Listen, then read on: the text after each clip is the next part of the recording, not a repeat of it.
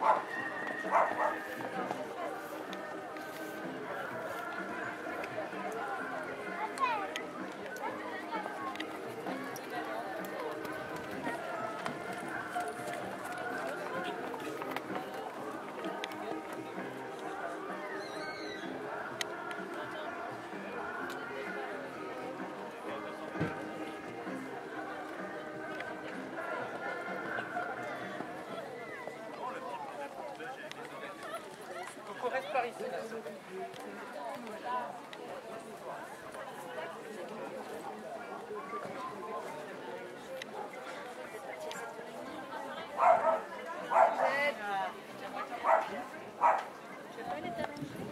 Vous êtes mauvaise langue. Par contre, sans pénalité dans le temps pour José Nicolas de Sainte-Anne. Un qualifié donc pour